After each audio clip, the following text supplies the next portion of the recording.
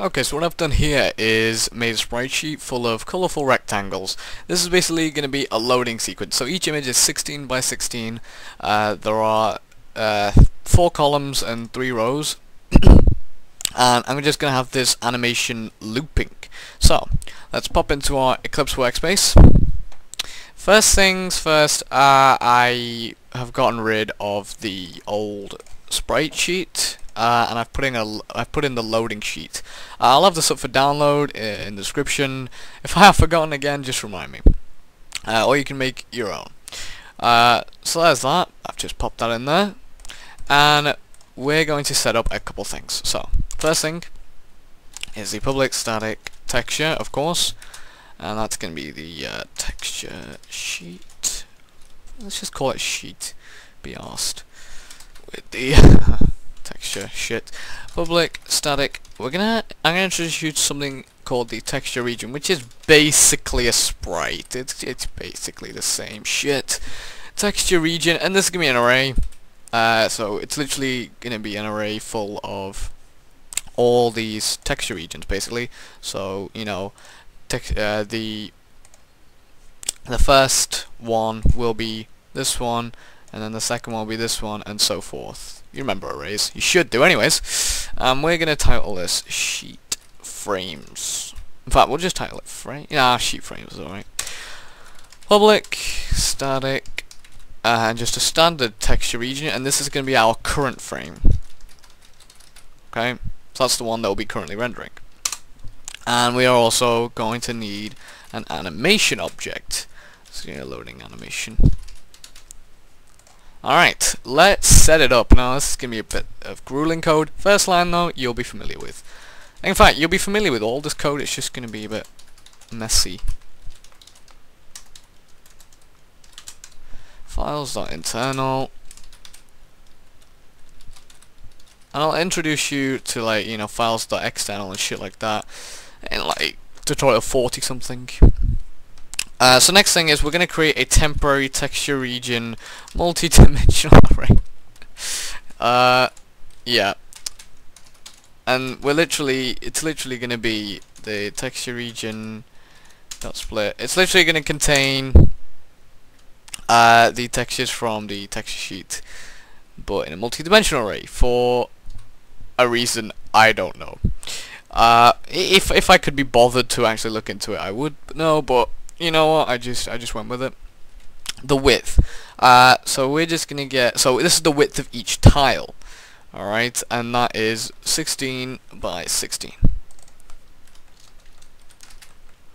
Alright. Awesome. Uh, so yeah. Uh, now we're gonna get our sheet frames, which is just a single array. And that's gonna be equal to a new texture region uh, 12 because we've got 12 images. Yeah? Alright. Got 12 images. So there's going to be 12 images in our sheet frames. Now we're going to make an index of O. I'm going to do for loop int i equals O. I'll explain this bit after I've written it. Just go with it for now.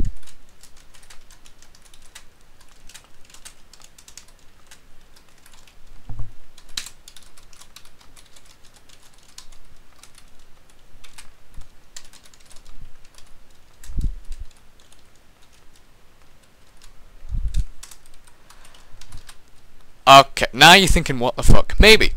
If, you, if you're if you're clever, then you, then you'll spot what I've done. If you haven't spotted what I've done, you're not stupid. It's okay. I'll walk you through it. Okay. So, what have I done here? I've got a temporary index uh, variable. Okay, that's just to count, you know, each texture one, two, three, four, five, six, all the way up to twelve. All right. Um, and I've also got a dual for loop. Okay, this is going through everything in this. Okay, this is going through all the textures in the temp. Okay, so this first for loop is uh, how many, literally, okay, when you're doing animations, just copy this, and this number is going to be the amount of rows you've got, and this number is going to be the amount of columns you've got, okay?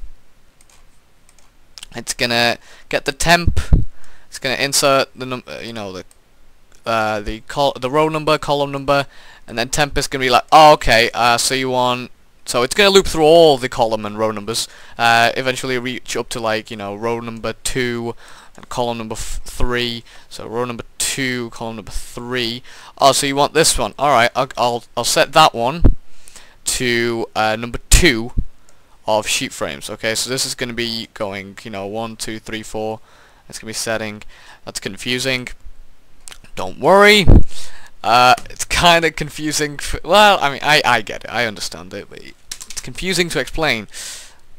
Mm, just go with it. You'll, you you should be able to get that. You should. Uh, I mean, you, you're probably familiar with this from the well generation tutorial. Uh, sorry, the random generation tutorial, which again, hopefully you kind of understood. Anyways, let's move on. So, second thing we need to do, we actually need to flip all these images, because we haven't done that yet. So we're going to go for int i equals o i 12 i plus plus.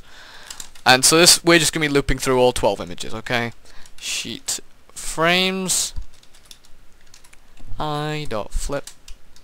And this is far easier to look at. So we're literally going to go through this uh, method 12 times. So we sheet frames uh, 1, uh, sheet frames number 0, we're going to flip it, sheet frames number 2, we're going to flip it, sheet frame number 3, we're going to flip it, and so forth. After we've done all that bullshit, we're going to go loading, animation, this is our animation object, new animation. Uh, we're going to have each uh, frame play at 0.2f. That's 0.2 seconds per frame. You can just play around with that. And we're going to get our frames from the sheet frames. Wow, okay, so hopefully you're okay with that. We're going to move back to our game screen now. So the first thing is I'm going to create a float called state time, and this is literally just going to keep track of time. Okay, because we need to keep track of time, because, you know, uh, yeah. Uh, and this is going to be state time is equal to OF at first. When we create it, we want it equal to 0. So once the uh, game loop kicks in, we want to set that equal to delta. And I haven't spoken about delta actually. Delta is just thinking about it as hmm, how do I explain delta? Okay, so I have a definition of delta on Wikipedia. Delta time or delta timing is a concept used amongst programmers in relation to hardware and network responsiveness. Okay, so we're not talking about networking.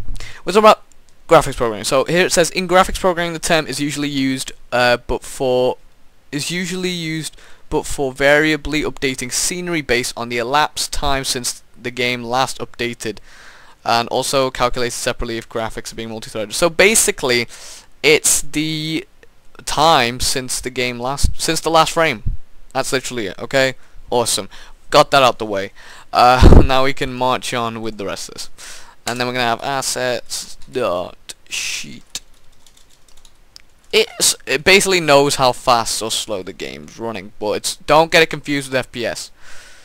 Dot, whoops, current frame. That's what we named it. Yeah, equals assets dot loading animation. That's our animation object. Then get keyframe. We're gonna put in the delta, and we are going to make that true. And now we literally just draw it. So batch dot draw assets dot sheet dot sorry current frame. Uh, that's going to be uh, 256 or 256. So let's run this. It is very tiny, but you can see it right there. Okay, right there. Uh, yeah, that's pretty much it. Oh, the reason it's tiny is because it's a 16 by it's, it's a 16 by 16 image and your and your camera is 1920 by 1080. If your camera was smaller, the image would look bigger. Yeah. All right. Thank you guys so much for watching. Have a fantastically brilliant day. I'll see you next tutorial. Bye bye.